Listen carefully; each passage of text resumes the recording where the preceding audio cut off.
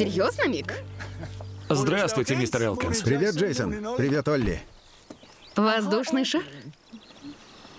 Прекрасно. Я знал, ты старый хрыч. Парни, надвигается отличный нортвестовый. Вы знаете, мне всегда везет на погоду.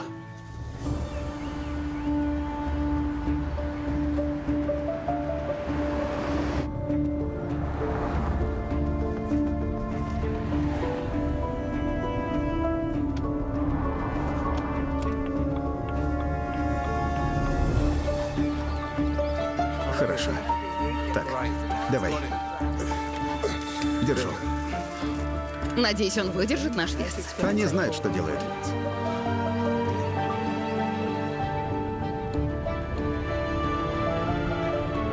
Выпьем За нас. за нас. Спасибо, Мик.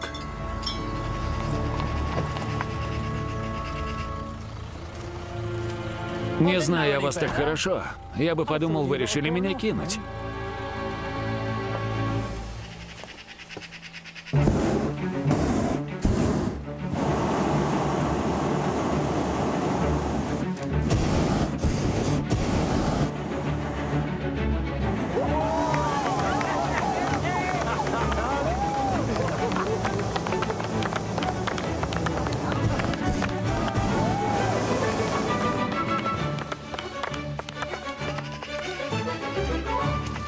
Обращайтесь ко мне, капитан. Так точно, капитан. На борт, Джеки. От винта, народ.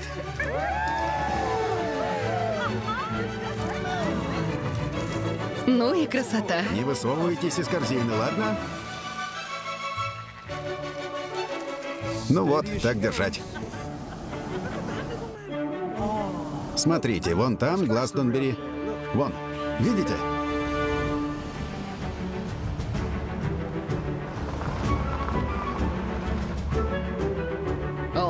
так тихо. Мы поднялись на 716 метров. Выпьем. Выпьем? Спасибо. Страсть как мило.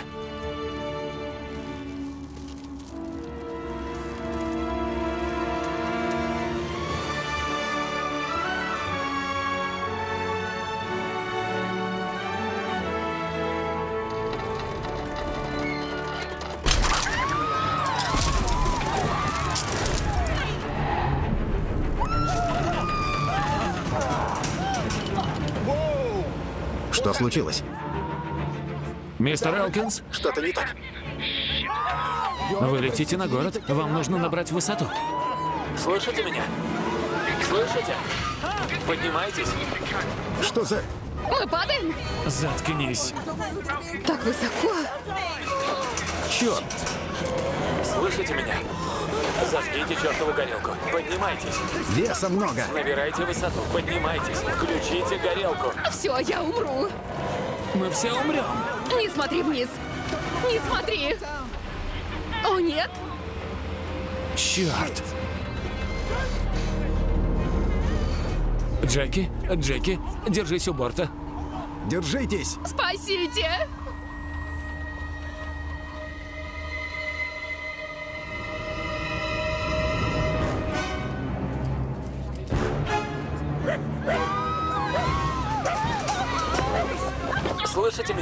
Держитесь. О, боже. Спокойно. Держитесь. Держитесь.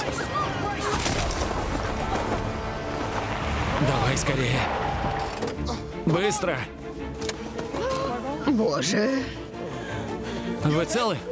Ну да, мы все живы. А где еще один? Мистер Марш, мистер Марш, мистер Марш. Где же он? О, нет.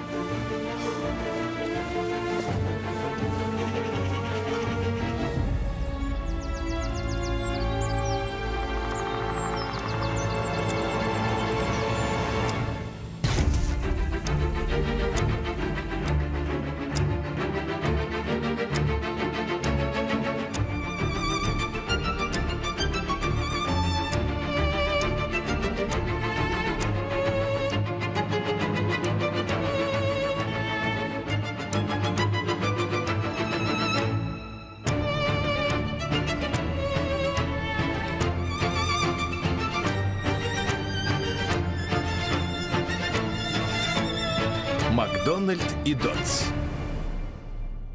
Серьезно? И с кем? Когда? Во сколько? Думаю, да. Но форма сразу отправится в стиралку. Она не должна всю неделю вонять в корзине. Салфетки и батарейки? Все, мне пора. У меня тут воздушный шар упал. Возду... Да неважно. Мой парень решил играть в мини-футбол по средам. Здорово, мэм. Ты просто не видел. Он мяч удержать не может. Что здесь тряслось? Упал минут 20 назад. Пять человек арендовали его у поразительных людей. В 8.30 утра поднялся с Клаттон-Хилл, это километров 10 на юго-восток, пролетел примерно час, а потом что-то произошло. Узнай, снимал ли кто-то на телефон. Ты сказал пятеро? Взлетело пять человек, сержант Дотс, но лишь четверо спустились живыми. Видимо, он выпал из корзины где-то вон над теми деревьями. Спасибо вам, детектив Поциарковский. Установили личность погибшего? Да, его зовут Фрэнки Марш. 58 лет, адрес квартира 1Б, дом 5, Бэкфорд, Виллас. Судя по всему, после крушения был полный хаос и... О его гибели не сообщили? Нет, мэм. Ладно. Да.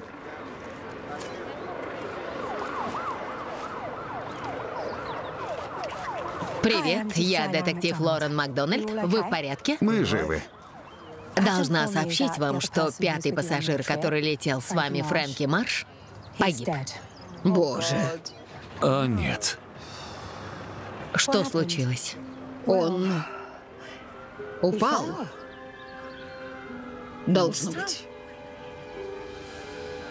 Расскажите, что именно произошло. Подробно, как только можете. Да я и не видела, как он падал. Да, я тоже. Да там был полный хаос, просто чудовищно. Конечно же, он упал. То есть, что еще с ним могло произойти? Он прыгнул.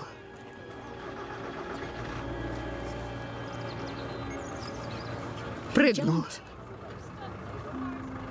Но почему вы не упомянули об этом сразу? Я могла остановить его, но растерялась. Мне жаль.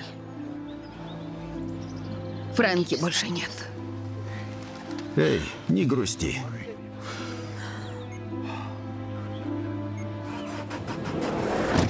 Можете ехать?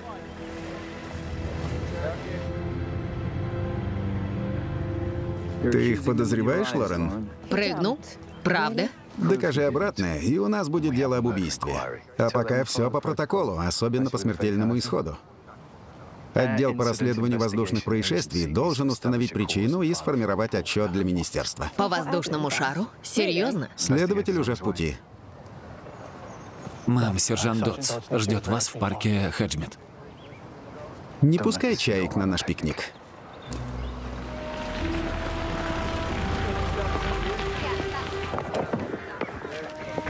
Привет. Здрасте, мэм. К нам едет следователь по воздушным происшествиям. Ух ты, потрясающий, мэм. Не очень. Они вечно приходят в костюмчиках, болтают на жаргоне и ведут себя как хозяева. Ты не видел тело? Нет, я ожидал вас, мэм. Зачем? Машина. Откройте багажник.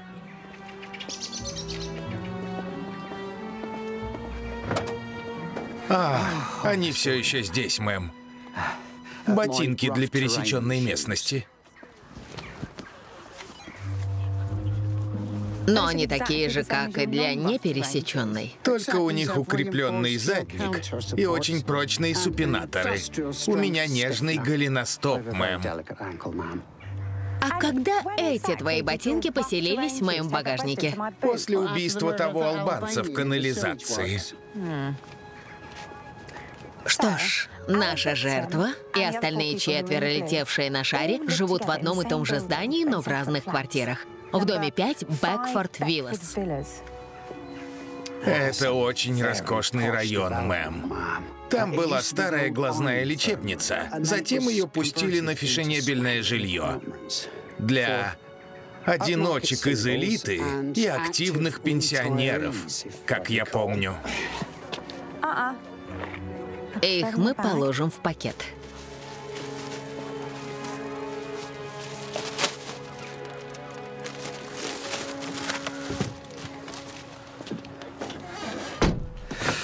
Готовы, мэм? Да. Взял свои. Прибамбасы? О, да, мэм. Твоя лупа? Есть. Блокнот и карандаш? О, да, есть, есть. Перчатки? Я никуда не выхожу без своих перчаток. Эго? Оставил его дома, мэм. Слишком тяжелое. А уж с нежным-то голеностопом.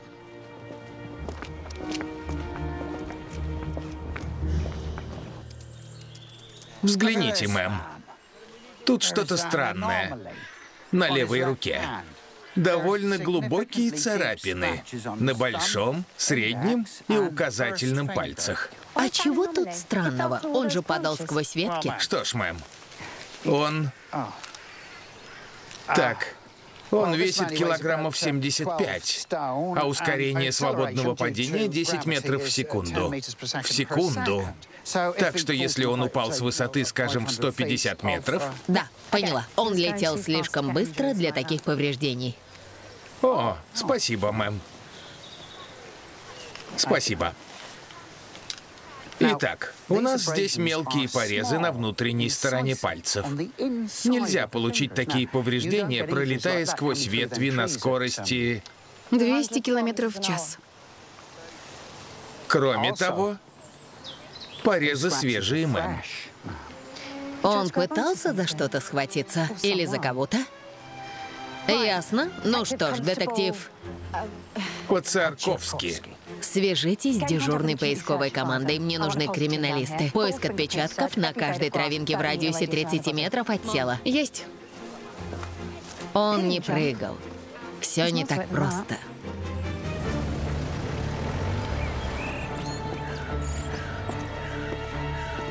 Прыгнул? Ну, надо было что-то сказать. Вы-то просто стояли там, как группа Крафтверк. Ох, идем.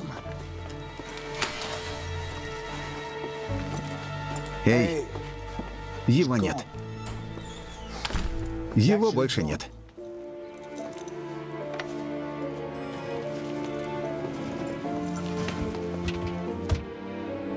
Ты в норме? Да, Ник. В норме.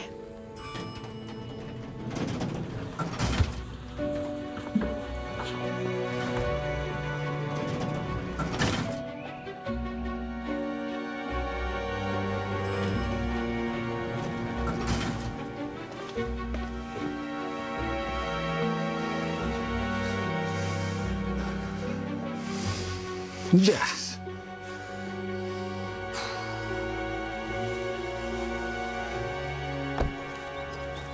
Вы знали, что первые пилоты воздушных шаров были преступниками, мэм? В былые времена шары считались опасной новой технологией. Как? Когда собак отправляли в космос? Да, или канареек в шахты. Как только он прибыл, сразу же выставил нас. И уже провел полный исчерпывающий осмотр места. Со всеми подробностями. Крайне. Что смешного? Это Рой Гилберт. Из отдела по расследованию воздушных происшествий.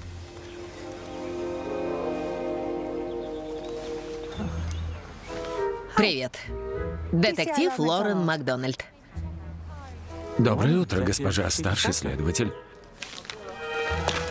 О, сейчас только возьму в машине прибамбасы, и мы сразу же начнем.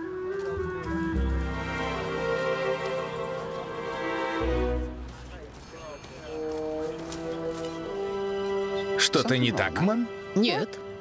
Все так. Макдональд и Дотс. Макдональд и Дотс.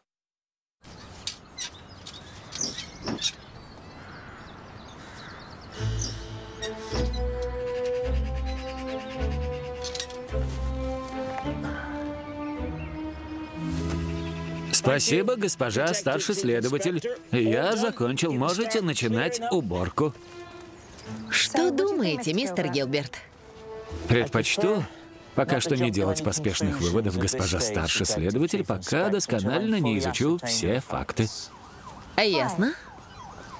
Сфотографируйте все, описать и конфисковать. Простите за любопытство, сержант Дотс. Где вы купили эту куртку? Впечатляющие карманы. Да, носит систему учета на себе. В плащах Рейнера на Куайт-стрит, но они закрылись. Закрылись? М, какая жалость. Я сейчас редко бываю в Бате, тут столько туристов. Может, получится взять у производителя куда практичнее старого рюкзака. Маклинс из Берик Апон Туида. А, я понял. Попрошу дочку Викторию прошерстить сеть.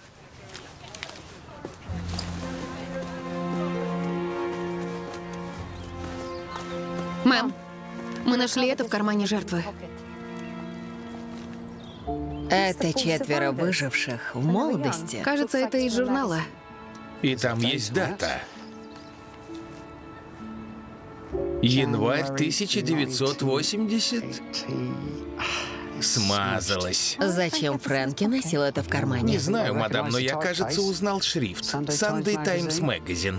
Несчастный случай не исключает убийства, так что мы будем расследовать убийство. Выясните подноготную жертвы. Мэм, Можешь узнать побольше? Что ж, мэм, мне придется пойти в... Да. Посумасбродствуй слегка.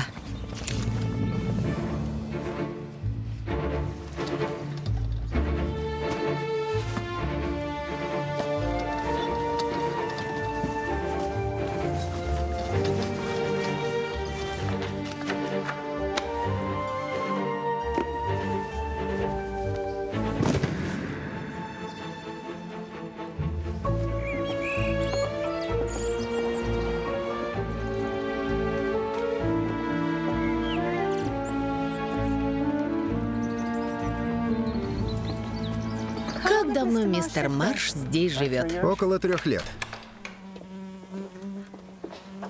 Квартира стоит 900 тысяч фунтов. Сумма выплачена. Прошу прощения.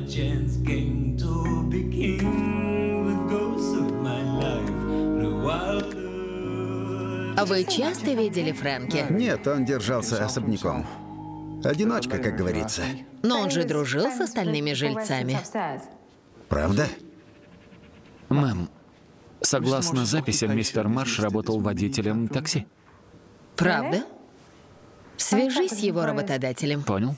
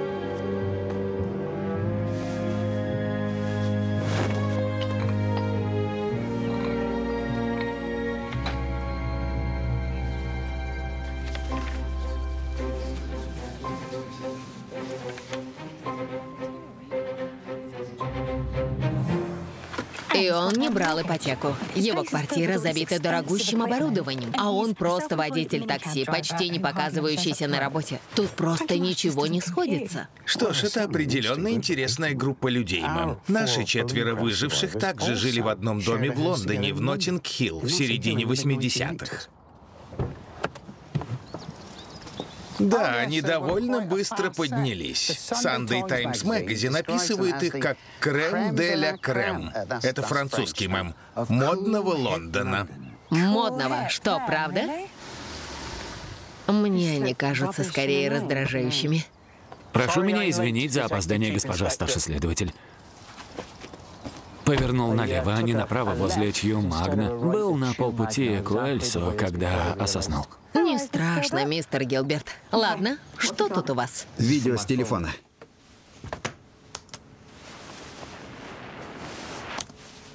Видимо, мой первоначальный вывод был верным. Карабин треснул. Мы брали такие, с двойным креплением. Карабины на 2500 килограммов. Более чем достаточно для шара на 25 тысяч кубических метров. Пять пассажиров плюс цистерны. Мы их все закрепили на сто процентов. Ладно. Я вижу тут пятерых. Посмотрим, как он падал. Этого нет. Деревья заслоняли. Когда они кончились, в корзине осталось четыре человека.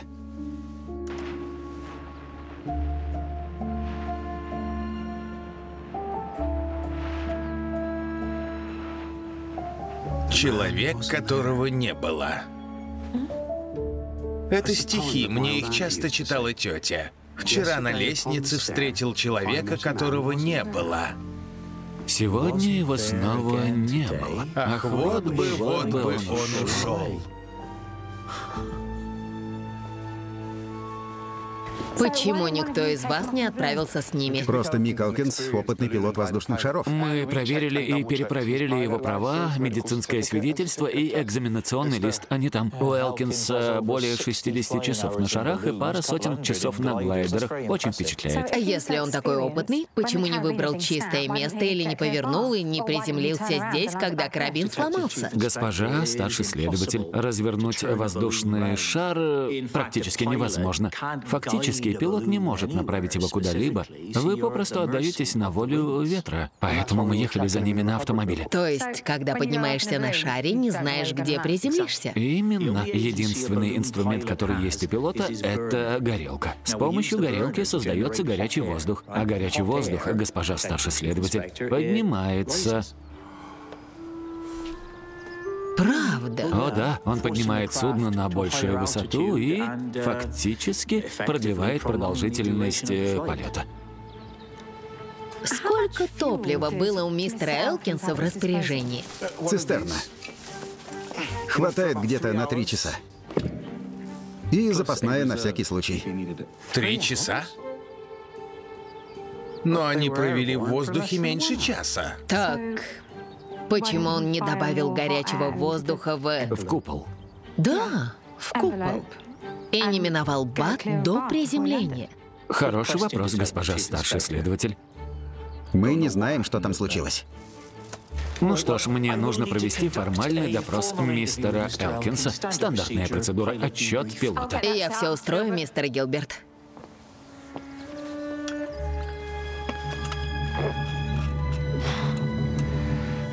Мне не хотелось бы переходить границы, сержант, но... Полагаю, вы видите в этом преступный умысел. Что ж, сэр, мы заметили некие странности. Мик Элкинс подъедет в участок к трем часам, мистер Гилберт. Вам лучше подготовиться. Я понял вас, госпожа следователь. Это твой новый друг? Он мне не друг. Мне нужны годы, чтобы подружиться. Неважно. Он гражданский, так что не делись с ним информацией об убийстве, если я не разрешу. Ладно? Но он в нашей команде, мэм. В нашей команде только мы. У отдела по расследованиям воздушных происшествий дело не в приоритете, иначе они не прислали бы следователя на пороге отставки. Так что избавимся от него побыстрее и разузнаем, что там действительно случилось. Мне мистер Гилберт тоже кажется слишком дотошным. Но не бойтесь, мэм, я удержу его в узде. Это как разговор с зеркалом. Простите? Друг или нет, он похож на тебя. Ш- Что? Но этот малый совсем на меня не похож. И, и я чуток обижен, что вы так думаете. И это большой чуток. Чуток, это же мало? Не всегда. Прости. Мой парень вечно говорит, Лорен, не говори вслух то, что думаешь. Все в норме? Думаю, да. Все шикарно? Нет, нет, мэм, не шикарно. В данный момент нет. Что ж, есть к чему стремиться. Но вот это очень странно, да? Эти четверо жили вместе в 85 году. И 35 лет спустя они снова живут вместе. Даже я нахожу это странным, мэм. Мы были в воздухе, все было прекрасно. А затем что-то щелкнуло. Вот это. Что ж, это карабин на 150 килограммов. Слишком маленький и легкий для такого большого шара. В «Поразительных людях» нам сказали, что там было 4 карабина на 2500 килограммов. Пожалуйста. Преступная халатность, верно? Парни из проката решили сэкономить. И вот доказательства. Дело закрыто. Не совсем. К сожалению, данная улика была при вас более шести часов, сэр, так что...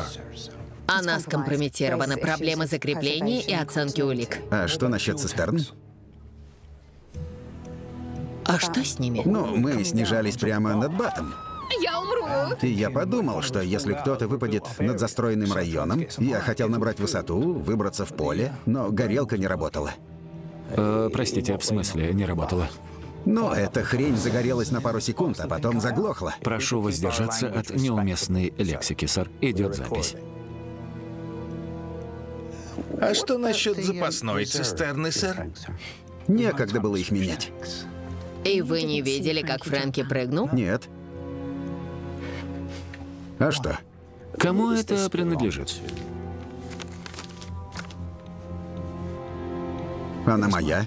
М, бомбардировочное командование команды наведения номер 8. Как скажете. Знаете, наводчики шли впереди основных сил на ночных рейдах, сбрасывали сигнальные ракеты на немцев. Там были самые смелые парни. Простите, мистер Гилберт. Зачем надели ее вы? Веселье ради. Веселье закончилось. Человек мертв. Это мой друг умер. А вы должны выяснить, почему. На этом все? Мистер Гилберт, Спасибо, мистер Элкинс. Вы очень помогли. я попрошу вас проводить. На пару слов, мистер Гилберт.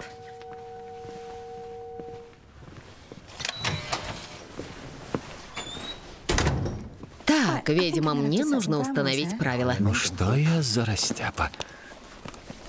Улики.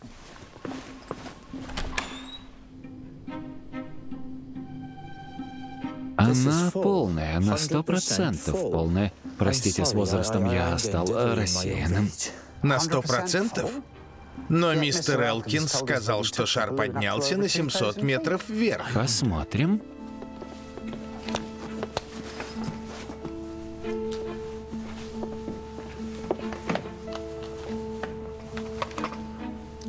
А так. Спасибо, сержант.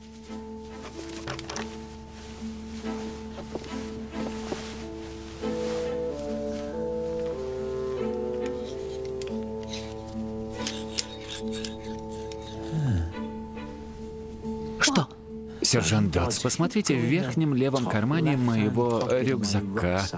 А, Спасибо, сержант. У меня такая же. Да.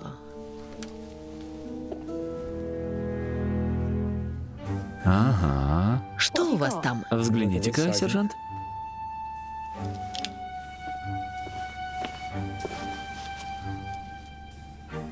Видите, вон, прямо за стрелкой. Ну, что там? Под этой стрелкой клей?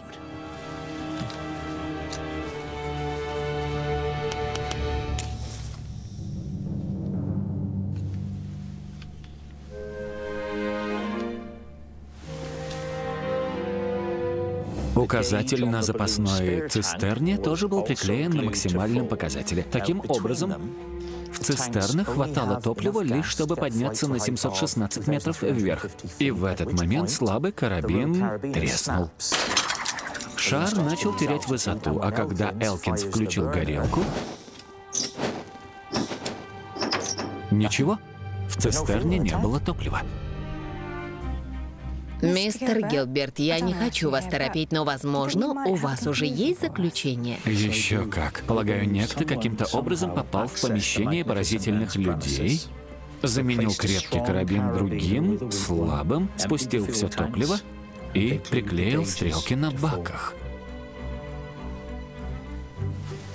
Что ж, старший следователь Макдональд, теперь мы имеем дело с обдуманным, тщательно спланированным и смертельным актом диверсии. Макдональд и Дотс. Макдональд и Дотс. Акт предумышленной жестокости, направленный на группу законопослушных граждан с одним смертельным исходом, могло быть пять. Заверьте выживших, что они под нашей защитой. Есть, сэр. Вообще-то я их помню по 80-м. Я был из новых романтиков. Что, как Бой Джордж? Я пропущу это мимо ушей. Эти четверо тогда были знамениты. Правда? Да, и годы определенно их пощадили. Как минимум материально. А значит, у них полно связей в бате, так что будь с ними поосторожнее. Ясно. Но Ну что, мы так и не объяснили царапины на руке жертвы. ладно? Но сосредоточься на расследовании диверсии. Как это сделали, у кого были знания и возможности. Это в приоритете. Есть, сэр. Команда уже в деле.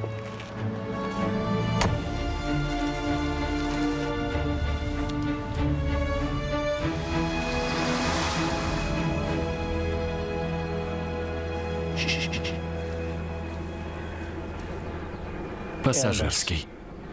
А320 Neo. Лучшая узкофюзеляжная модель на рынке. Угадал по звуку двигателя. Мы играем так с Джорджи, моим внуком. Вы бывший военный, верно, мистер Гилберт? ВВС. Прямо после школы, как отец. Летал на торнадо GR-1 в Персидском заливе. Бомбил базы Ирака и нефтяные заводы. Опасное дельце, очень. Но ты не можешь служить вечно, верно? Так что, выйдя в отставку, 10 лет пилотировал коммерческие бюджетные перевозки. Конечно, из-за возраста я был на так называемом нулевом договоре. Пять раз в неделю в Аликанте. А пассажиры — отдыхающие. Народ пошел такой неотесанный. Так что я примкнул к отделу по воздушным происшествиям на полставки. Может, он был не так настроен? Так что он там делал? Объясни. Я все проверил. Что ж, идемте, сержант, распутаем проклятое дело. Слушаюсь, капитан. Так говорят на флоте. О, да, простите великодушно. Диверсия? Да нет. Мы все перепроверили. Два раза. Когда вы проводили проверку? В воскресенье. Закончили в 10, погрузили в грузовик все к утру понедельника. Вернулись в 5.30 утра. Мы уже установили, что цистерны были пусты. Стрелки были приклеены. Нет.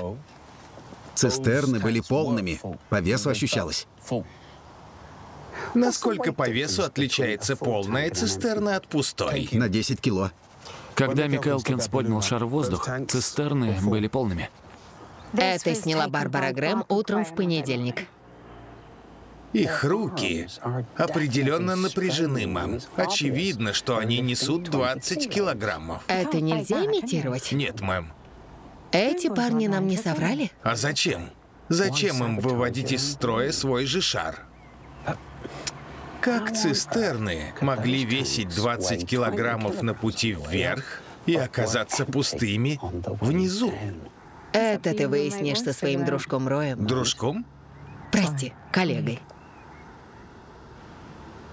Что касается этих артистов наверху, нам велели обращаться с ними как с выжившими жертвами.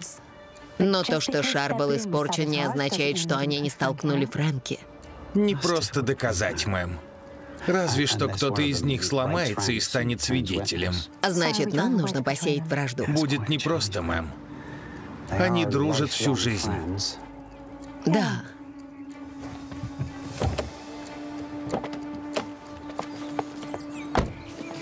У тебя должно быть есть опыт такой дружбы. Ну что ж, да, есть Рэк Картрейд, Соупи Кармайкл. А, нет, он умер в прошлый сочельник. Эрик. Вечно забываю его фамилию, но он женат. И Стэн, художник по вывескам. С дислексией.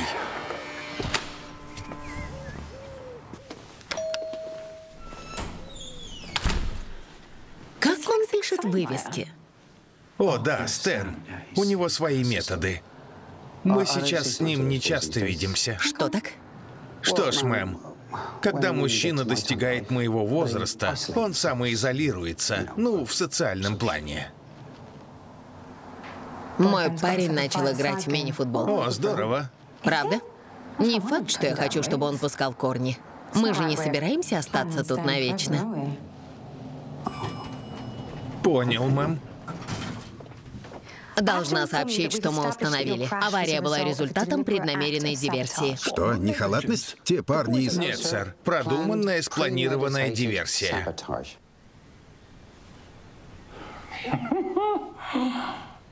Простите, мы слегка шокированы. Заметите что-то подозрительное или необычное, звоните напрямую на этот номер. Без колебаний, ясно? Вы не знаете, кто бы мог затаить на вас злобу? Нет, мы живем в Бате только пару лет. Вряд ли кто-то из нас успел нажить проблем. Может быть, раньше, допустим, в 85-м? С чего вы так решили? Нашли это в кармане Фрэнки. Зачем он носил это с собой? Без понятия. Как давно вы с ним знакомы? С 80-х? Да. Так, на момент снимка он жил с вами в одном доме в Ноттинг-Хилл? Нет, нас было четверо. Фрэнки въехал к нам только в 86-м.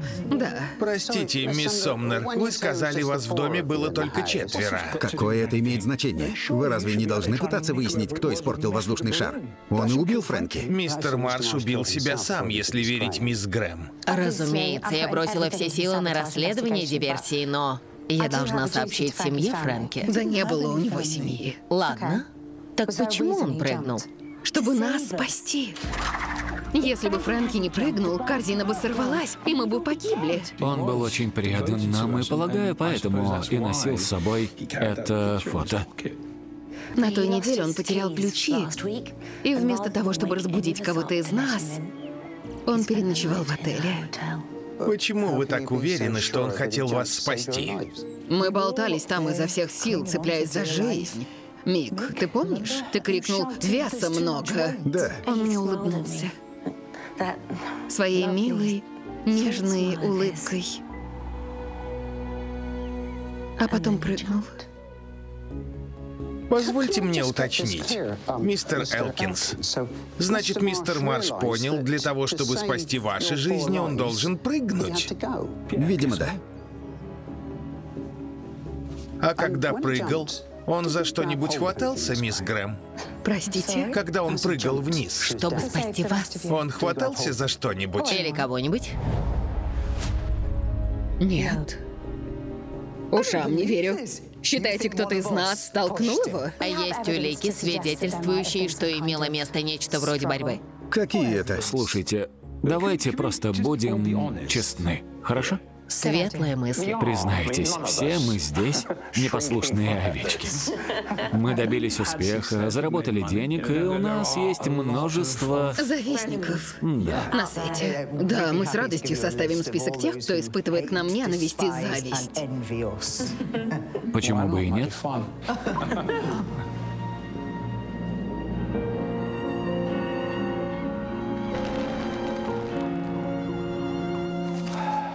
Это проклятие современного мира, мэм. Как добиться оптимального количества масла на картошке, когда оно замерзло? Если ждать, пока масло растает, картошка остынет. И что важнее, картошка или масло? Мне кажется, что масло. Да, верно. Но холодное фри — преступление против природы. Что у нас есть? Карабин ломается. Мик Элкинс понимает, что у них перевес, и Фрэнки прыгает, чтобы спасти друзьям жизнь. Потому что он им очень предан. Убедительно. Царапины на руке не обязательно означают, что его толкнули. Да, но они точно скрывают от нас правду. Не облизывай пальцы. Простите, мэм. Спасибо. Так зачем Фрэнки взял это? И почему они все так перепугались? Макдональд и Дотс. Макдональд и Дотс.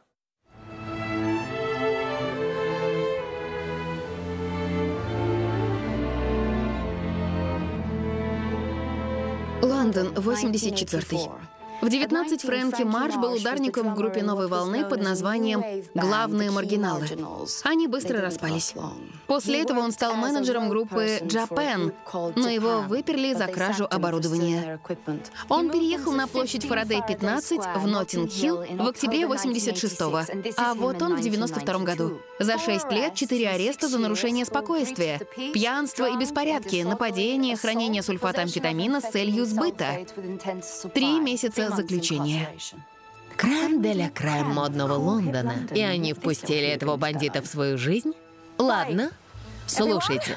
А вы все знаете примерный путь этого шара? Он поднялся с Клаттон-Хилл и долетел до Королевского полумесяца, километров 15. Мы ищем свидетелей и видео с телефонов, видеорегистраторов, камер наблюдения, где угодно, кого угодно, кто видел, как Фрэнки Марш выпал из шара. Сложно доказать. Может быть, нам лучше сконцентрироваться на диверсии?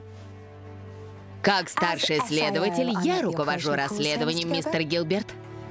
Остальные Джеки Сомнер, Барбара Грэм, Гордон Эльмвуд и Мик Элкинс. Мы не знаем, кто за пределами группы испортил шар. Но не воспользовались ли они возможностью избавиться от Фрэнки Марша? Они только жертвы или убийцы? Разговорите их. Чем больше скажут, тем больше солгут, а чем больше лжи, тем больше ошибок. И тем ближе мы будем к правде о том, что случилось на шаре. Это союз четверых. Разобьем его. Конечно, тогда у меня были враги. Начните с правления Virgin, ведь когда я дезертировал в Эми, я забрал с собой сейф. Норман Фостер, я любил называть его Ричардом Роджерсом. Вся звукозапись — волчий бизнес. Ричард Роджерс, я любил называть его Норманом Фостером. Разъяренные жены всегда любила женатых мужчин. Я писала для фанзинов, для НМА, для Фейс. Но я продвигала группы и сцену в целом. Когда Элтон рассорился с Джоном Ридом, я подхватил Элтона. И Рид угрожал нанять киллера. Когда я завела колонку в телеграфе, старые друзья были недовольны. Билли Маккензи. Вы знаете, он чудный певец, но я наступил на его гончую, хотя, полагаю, мертвых можно исключить. Когда грянул ковид, я перевел все деньги в Перспекс и покупал прогоревшие кафе по бросовым ценам. Гордон называет это вампирский капитализм. Твиттер. Молодежь. Мы богаты. А вокруг этого поднялся целый переполох. То, как вы на нас смотрите, с завистью. Теперь прошу прощения. Я скорблю. На вас черные запонки. Что это за место? Всегда был неравнодушен к закрытым клубам. Я был одним из основателей Грауча. Что это, стриптиз-клуб? Удивительно. Спасибо. Вы дали нам больше 500 зацепок. Враги — это последствия эгоизма. Что сделало вас таким? Я виню миссис Тэтчер.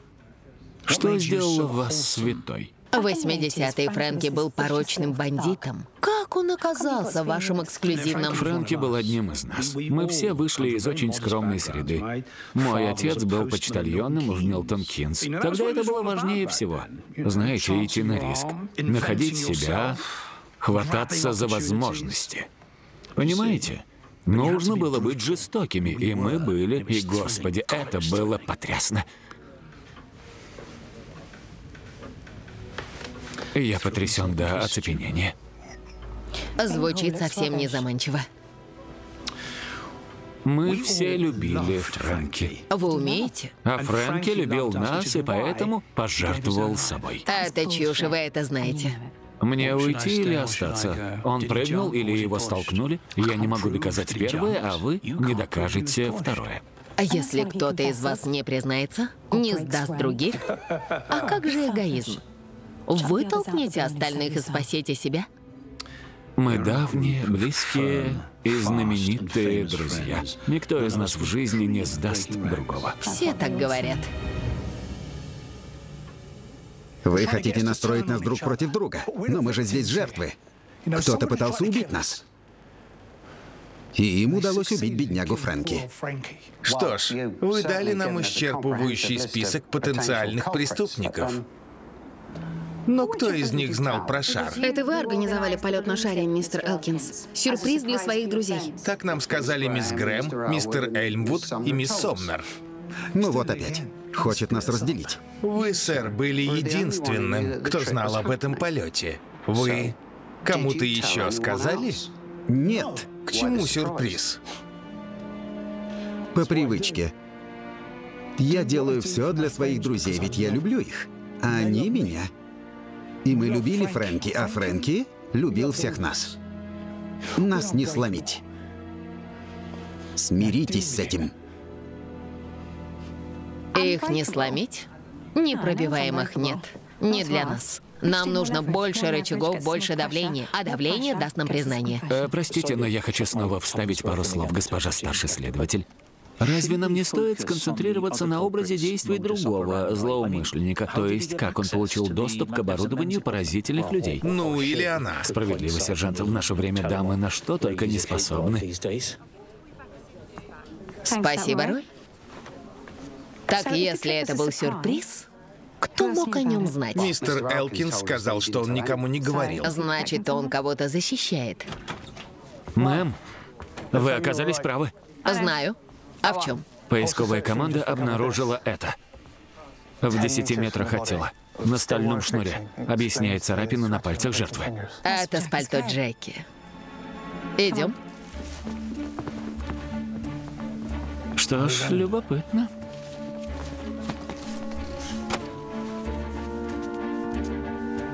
Никаких компромиссов. Никаких компромиссов. Бойкотирование. Как оригинально.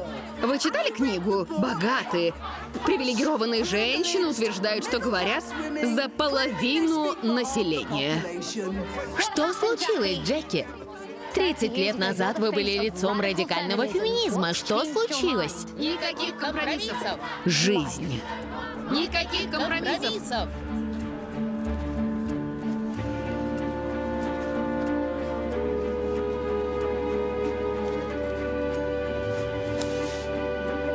Диверсия и убийство связаны.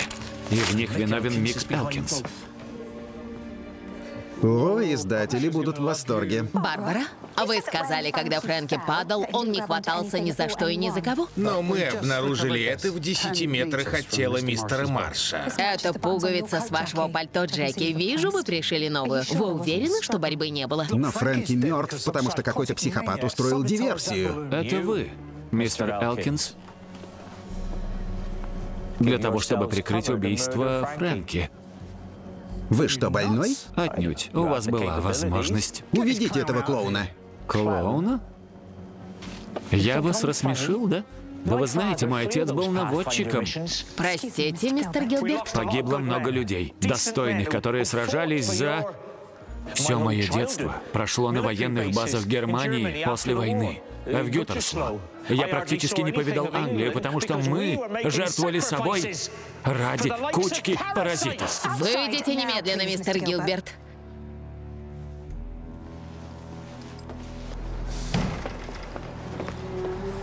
Это слишком, мистер Гилберт. Послушайте, я подумал. Мик Элкинс налетал более 200 часов на глайдерах и шарах. Взгляните здраво. Если он хотел убить Фрэнки, есть способы проще. Если вы знаете величину купола, приблизительный вес пассажиров, корзины, цистерн с топливом, то все можно рассчитать. Да? Фактор предела прочности тросов, грузоподъемность карабинов. Если один из них ломается, остальные не смогут выдержать вес пятерых человек. Мик Элкинс точно просчитал авантюру. Вы же видели, он качается. Он рассчитал, что сможет удержать карабин две минуты, пока один из его друзей вытолкнет Фрэнки из шара. А потом они сказали нам, что Фрэнки выпрыгнул сам. Идите, мистер Гилберт, остыньте.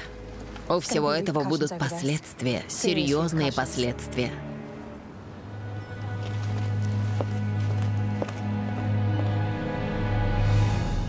Макдональд и Дотс. Макдональд и Дотс.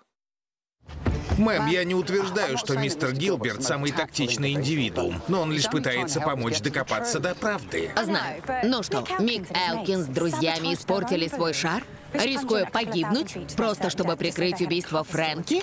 Это сходится с фактами. Знаю. Но это лишь версия, где неопровержимые улики, что Мик Элкинс... Но нет и доказательств, что его толкнули. Оторванная пуговица Джеки — косвенная улика. Это рычаг для давления. Был им, пока Рой не ворвался и все не испортил.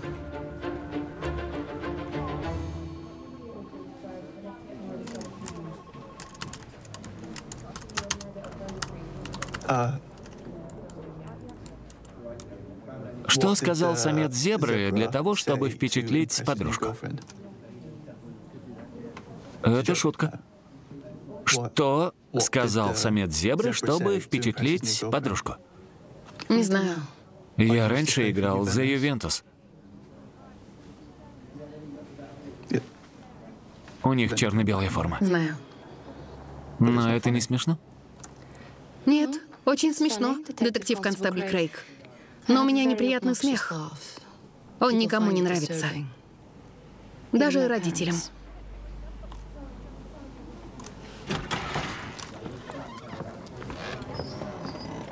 А, мэм, я переслал копию финансового профиля Фрэнки Марша на ваш планшет.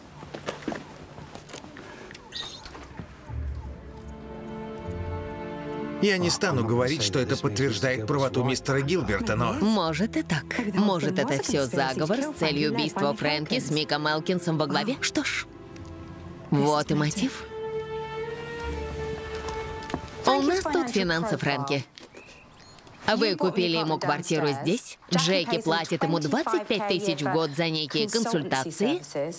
Как и Гордон с Барбарой. Ну, мы любили Фрэнки как брата. Слишком много любви для якобы эгоистичных людей. Это просто маска. Life Aid был в 80-х. Я помог Бобу и Мидж все устроить. Боб и Мидж? Это что, детский канал? Генри Говард. Кто? Знаете, я просто думал тут о своих врагах. Его звали Генри Говард. Он вбил себе в голову, что мы типа приятели. Мы оба пилотировали шары. Ну, в общем, его ресторан обанкротился, и я подсуетился. Франки вас шантажировал? Всех четверых? Поэтому он умер. Простите, сэр. А что вы делали между девятью вечера воскресенья и половиной шестого утра понедельника? Я был здесь. Генри Говард. Нам нужно это проверить, да, мэм? Большое спасибо, сэр.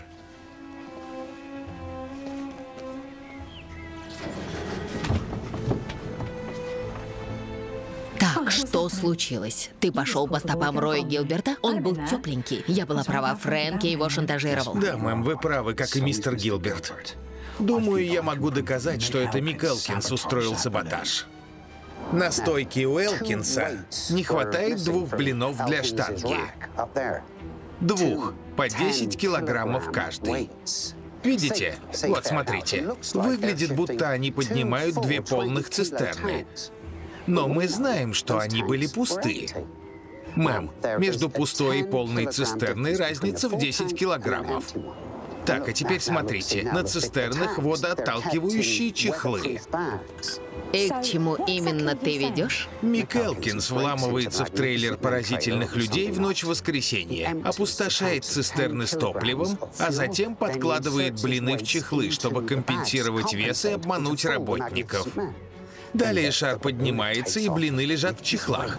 Затем их шар падает, и блины все еще находятся в чехлах.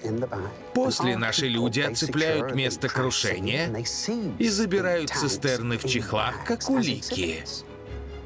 Мэм, блины до сих пор там, на складе улик, в чехлах, с кучей отпечатков, обличающих Мика Элкинса.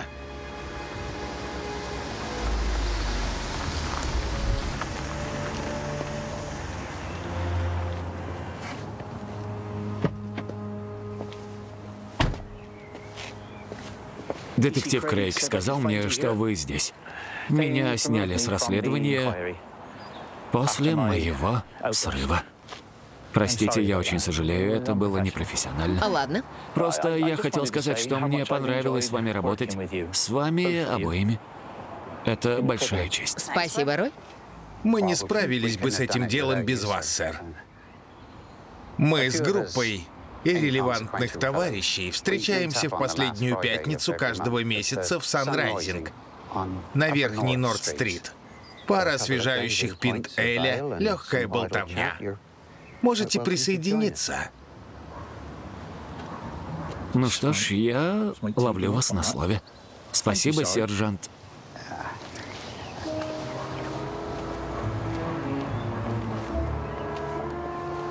Что ж, найдем блины, мам.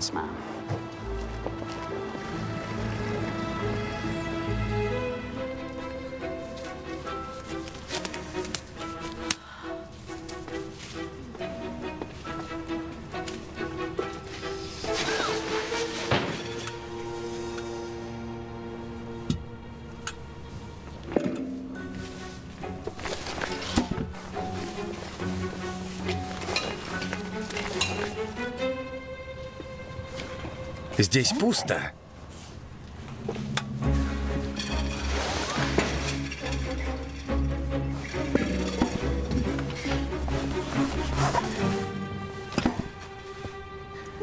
Блинов нет.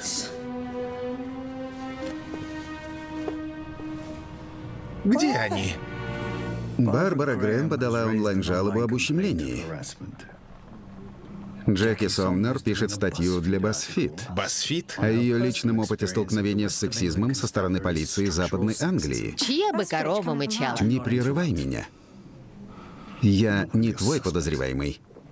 Гордон Эльмут попросил жену начальника, да-да, они друзья, замолвить за них словечко перед мужем. Лондонский поверенный Мика Элкинса требует оценки профессиональной этики, потому что вы позволили Рою Гилберту Я ничего не позволяла.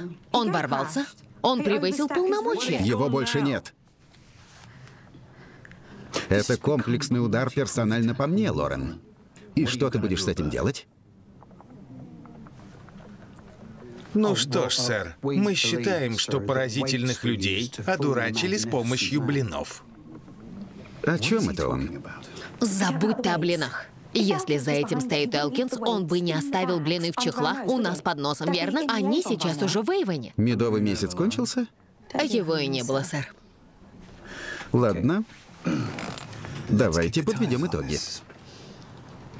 Они лгали нам с самого начала. А учитывая их финансовые отношения с жертвой, думаю, что он их шантажировал. И чем же? Не знаю, но сами посудите. В 2016-м они вчетвером переезжают в БАТ в одно здание. Через год Фрэнки тоже въезжает. А в 85-м эти четверо купили дом в Ноттинг-Хилл. И через год туда переехал Фрэнки. Не четверо. Что? Что?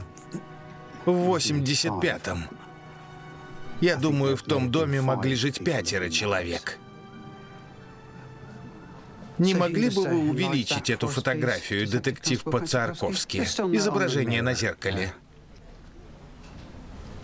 Можно сделать четче.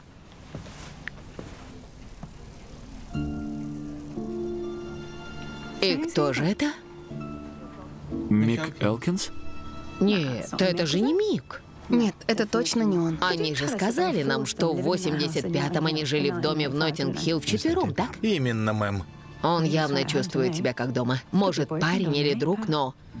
Разузнайте насчет того дома в Ноттинг-Хилл. Владельцы, арендаторы, все, что можно выяснить. Когда ты об этом узнал? Когда был в библиотеке, мэм.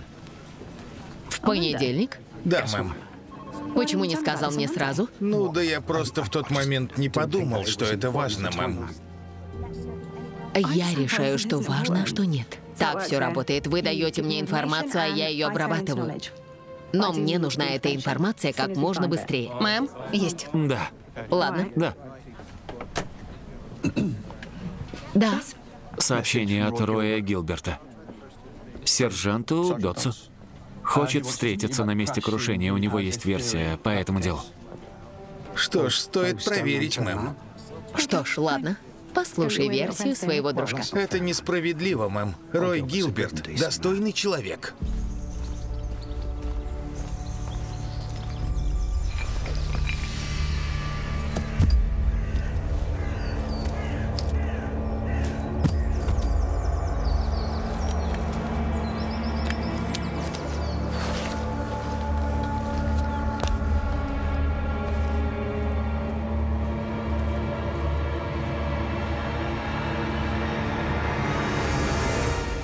Макдональд и Дотс. Макдональд и Дотс. Это истинный рай. Это конец путешествия. Место назначения? Оно называется счастье. Снято. Отлично, Барбара, спасибо. И вам. Переходим к следующей сцене для рая. Ладно, хорошо, давайте попробуем. Ради всего святого. Не знала, что вы актриса. Вовсе нет. Я икона 80-х, вы же знаете. Приманка для роста посмертных кредитов. Намек. Перепишите на нас свой дом, парни, и я ваша. Кто это? Там, на заднем плане. Не знаю. Правда? Он в вашем доме. В Ноттинг-Хилл, 85-м. Выглядит по-домашнему. Я... Простите, я... Не знаю.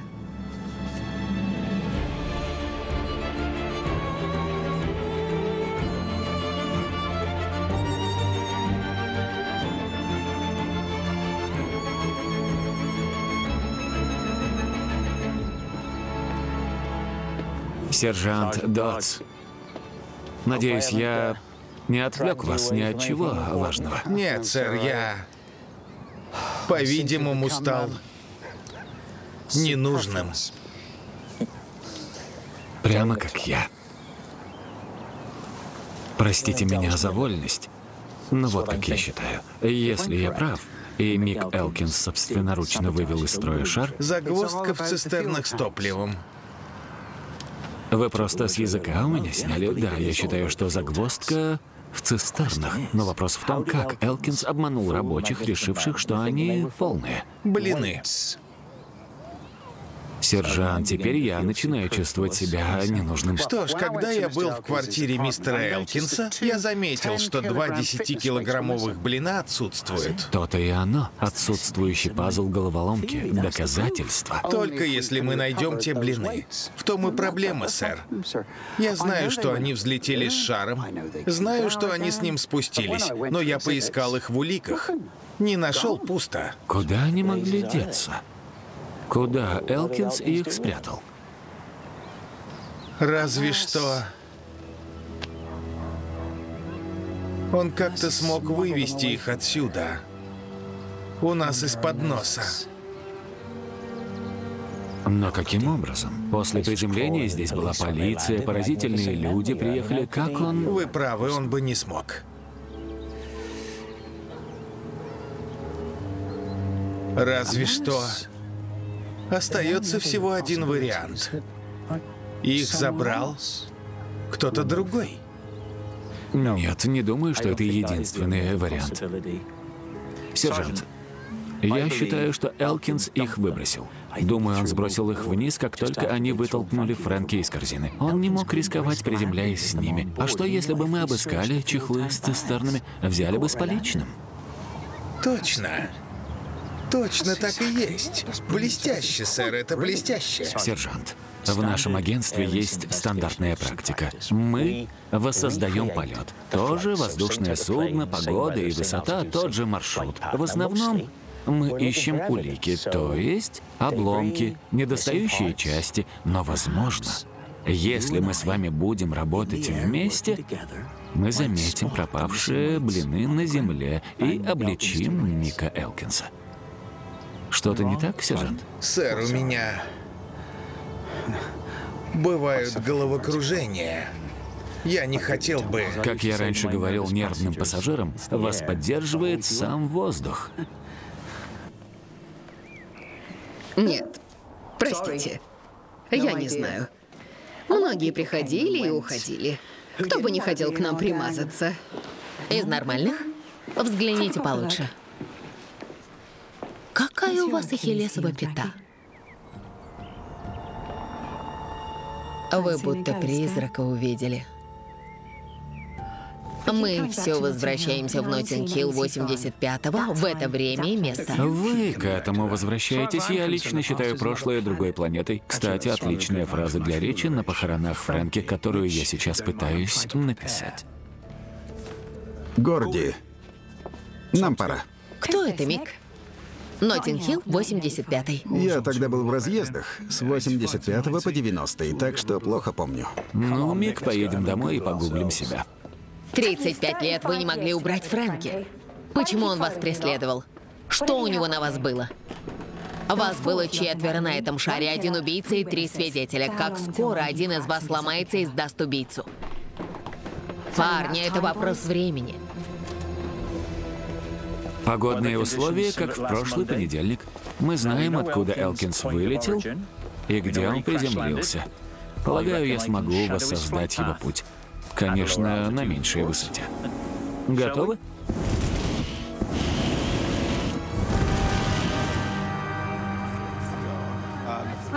Что у нас есть? Во-первых, дом в Ноттинг-Хилл. Он сделал этих четверых богатыми. Они купили его в 86-м за 30 штук, а через три года продали за полтора миллиона. Поделили на четверых. 30 штук? Сейчас не хватит и на первый взнос. Но главное, мэм, в 85 году в этом доме было все же пятеро жильцов. Мужчина в зеркале? Джон Малкольм. Он оказался в Лондоне между мартом 84 и сентябрем 85 -го. Сбежал из дома в Германии на военной базе в Гютерсло. Стоп. Как называлась база? Гютерсло? Ее упоминал Рой Гилберт. Что это значит, мэм? Значит, у него были знания, возможности и мотив. Где Дотс? Он написал мне... Он...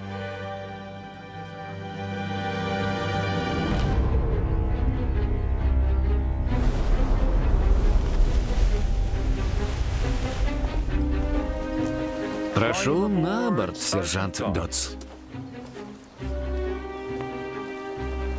Вы уверены, что с нами все будет в порядке? Сержант, я смог пройти через заградительный огонь в Ираке. С этой штукой, думаю, справлюсь.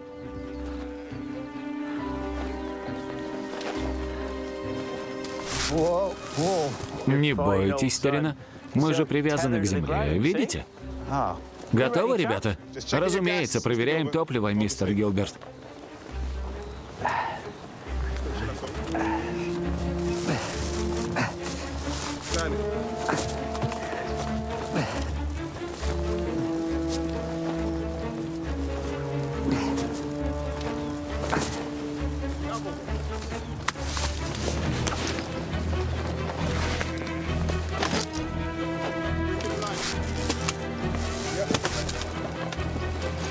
Что, сержант, готовы?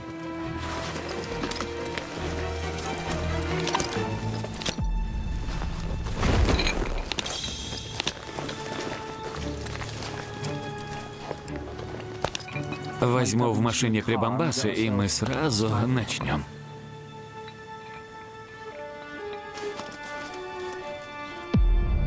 Два десятикилограммовых блина.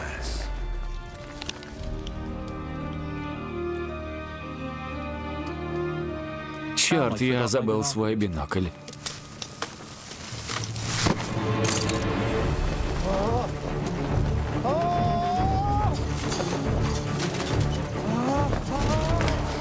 Черт! Да чтоб тебя!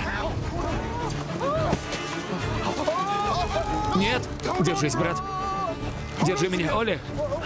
Что мне делать? Вентиль! Чего? Вентиль поверните!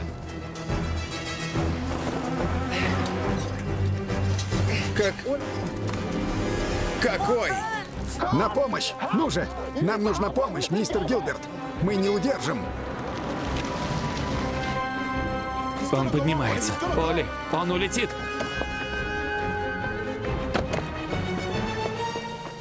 Что за черт?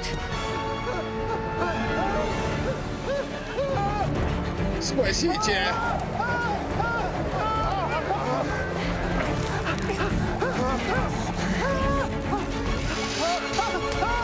Помощь! Красный шнур! Потяните шнур! Что сказано? Тяни красный шнур! Давайте!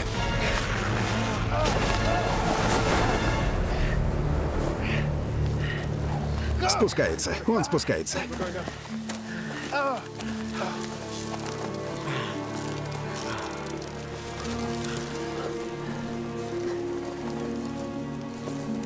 Что случилось, Рой? Не знаю. Думаю, я должна извиниться. Я согласна с вашими выводами. Это сделал Элкинс. Буду рада, если поможете доказать. Конечно. Спускайтесь. Простите, сержант. Это моя вина. Моя дочь Виктория говорит, я с возрастом стал рассеянным. Вы в порядке? Еще как. Сержант Дотс, я возвращаю мистера Гилберта к расследованию. Он поможет нам прижать Мика Элкинса, верно, Рой? Да. Я решила. А вы решайте, с какой стороны класть масло на картошку.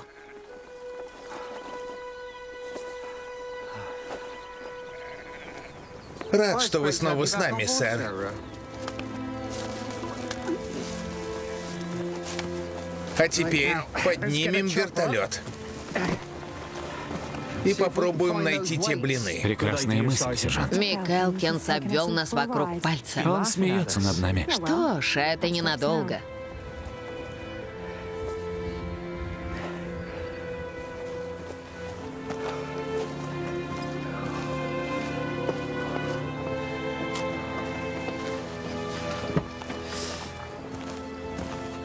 Ты в порядке? О, да, мэм. Полагаю, только Рой Гилберт хотел убить меня. Не волнуйся на этот счет, у меня есть план.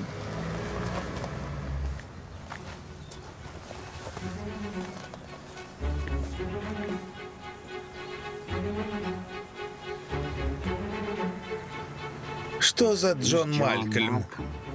Человек, которого не было.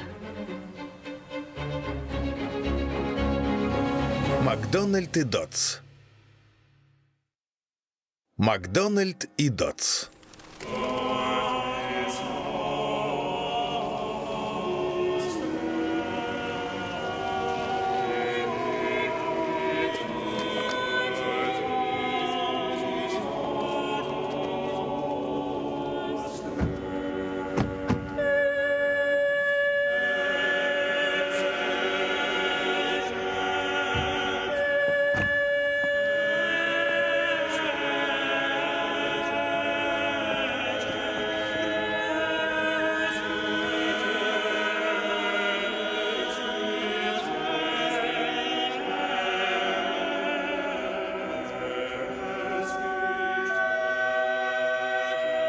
Собрались здесь, чтобы проводить в последний путь Фрэнсиса Эдварда Марша, возлюбленного друга Гордона, Барбары, Майкла и Жаклин.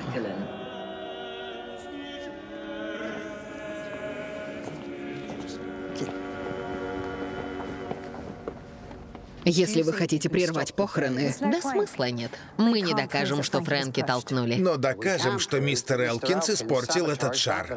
Опять за свое. Мистер Гилберт?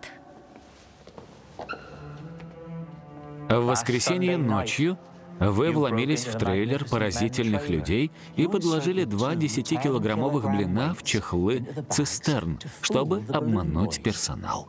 Детектив Крейг? Это те самые блины. Мы нашли их в поле, где вы их сбросили. Их не было на вашей стойке. Я заметил, что их нет. И я тоже. На них лишь одни отпечатки, Мик. Ваши. Вы заменили крепкий карабин на более слабый. Чушь какая-то. Вы с точностью рассчитали грузоподъемность этого шара, так что, когда слабый карабин треснул, Корзина не смогла удержать всех пятерых. Мик. Очень умно, мистер Элкинс. Вы заставили друзей избавиться от Фрэнки, не пошевелив даже пальцем. Давайте, Джеки. Что вы думаете?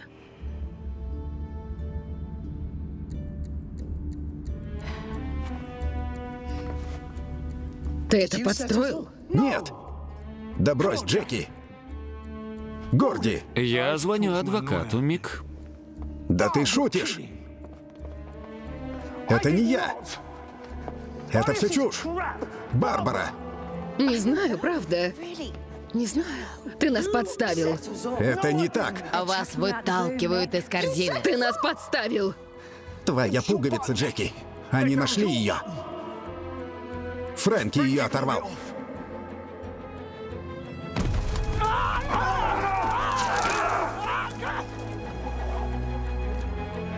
Давайте сделаем шаг назад. Я никого не подставлял. Я единственный невиновный. Я просто пытался всех спасти.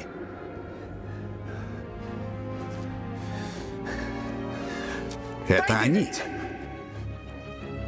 Это все они.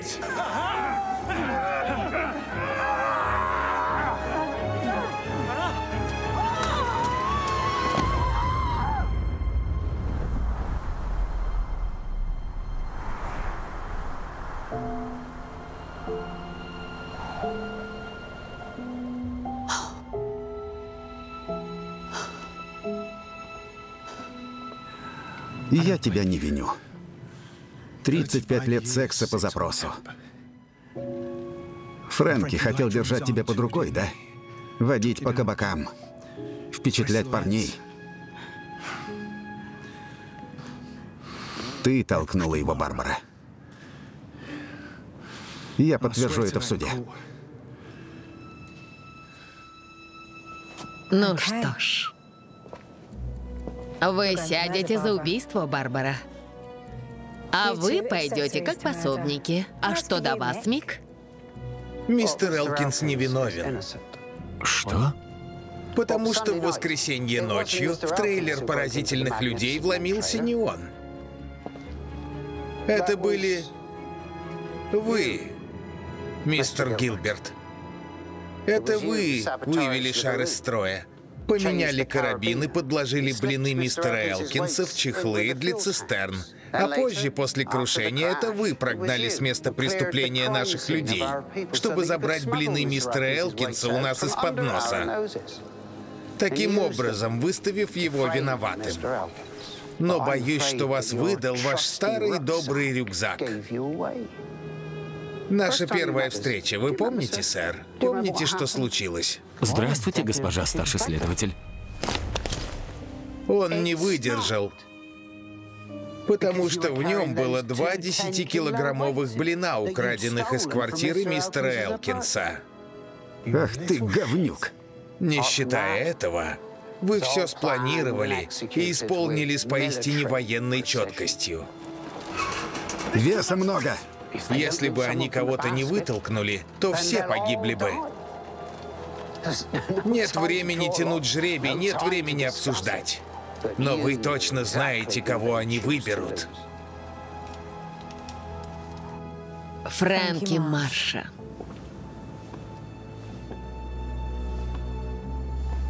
Это гениально, мистер Гилберт. Ваша незримая длань создала идеальный момент для убийства. Сейчас или никогда. Убийца, которого не было. Так это было не убийство?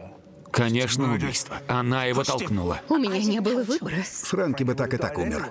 То есть, да, я оттолкнула Фрэнки, но я не то чтобы убила его. Верно? Если так задуматься, Барбара спасла четыре жизни. Нехарактерная самоотверженность. Вы меня не арестуете. Дело не выгорит в суде, верно? Нет. Хватит. Не смейтесь. Думаете, люди, люди вроде меня, обычные люди, которые живут в пригороде и не устраивают вокруг себя ажиотаж. Мы что, смешные? Серые? Скучные? Мы сражались.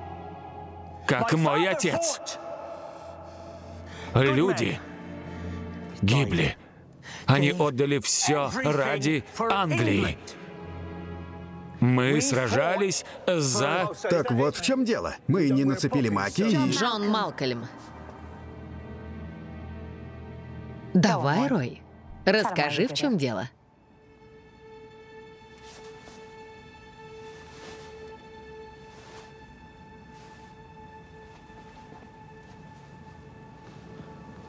Мистер Гилберт вырос в Гюнтерсло, в Германии, на базе ВВС, по соседству с лучшим другом Джоном Малькольмом.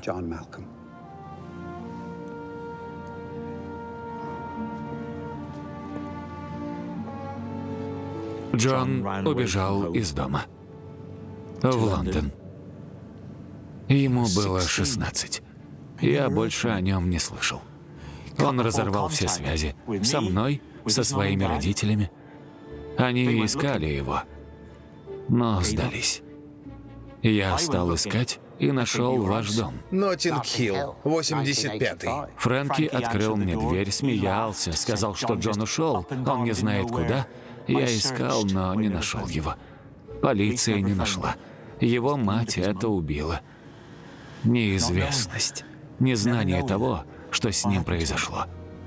Мы не нашли следов Джона Малкольма после 85-го. Он как будто исчез. Затем, 35 лет спустя, вы столкнулись с Фрэнки здесь, в Бате. Подошли к нему. Что случилось с Джоном Малькольмом? Фрэнки снова смеялся. Он был пьян. Сыпал соль на мои раны.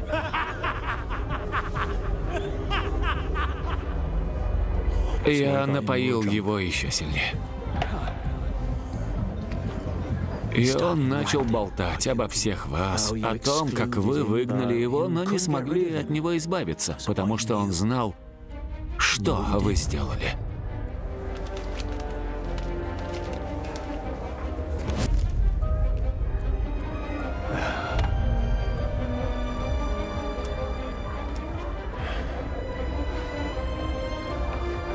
На той неделе он потерял ключи, и вместо того, чтобы разбудить кого-то из нас, он переночевал в отеле.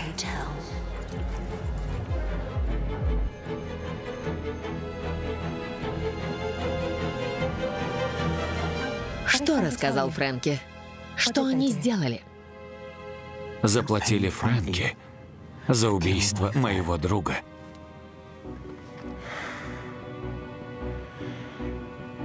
В 86-м вы купили дом в Ноттинг-Хилл за 30 тысяч. 30 жалких тысяч на основании законных притязаний, ведь вы туда вселились. Через три года вы продали его за полтора миллиона. Но первым жильцом там был Джон Малкольм. Он имел преимущественное право. Пока вы его не убили. Вы не сами по себе пробились наверх. Вы отняли жизнь у невинного молодого человека. Все жадность, да? А где тело? Сейчас 20 специалистов поисковой группы полиции Лондона ждут сигнала, чтобы разобрать ваш дом по кусочкам, по кирпичикам. На это уйдут время и средства. Когда доходит до приговора, судьи частенько злятся из-за такого. И признаем, а вы уже не яркая молодежь. Так где тело?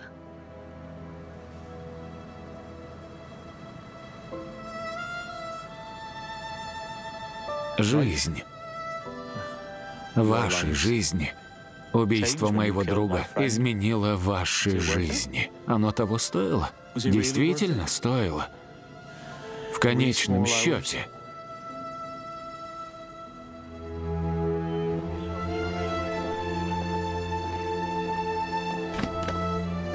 Они всегда выкручиваются, так сказал Фрэнки.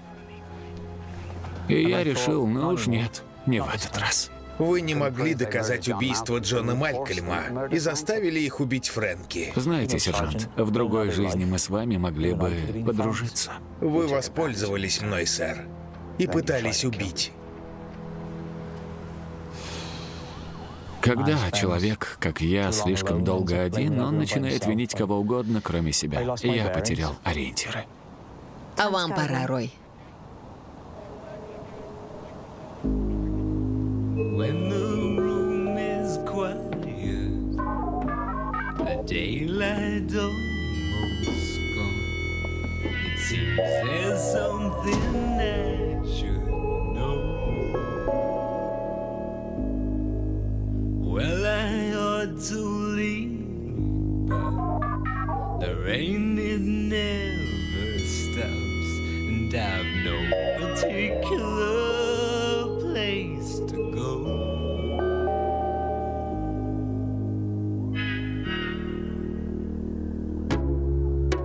Just when I think I'm winning, when I've broken every door, the ghosts of my life blow wilder than before.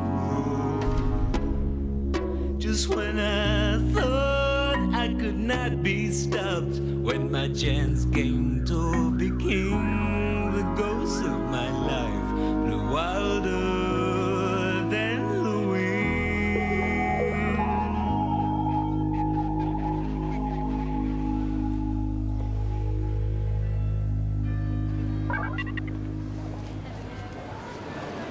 Нашли тело под домом в Ноттинг-Хилл. Полиция проверила зубную карту. Джон Малкольм. Хорошо, мэм. Эй! Мы закончили.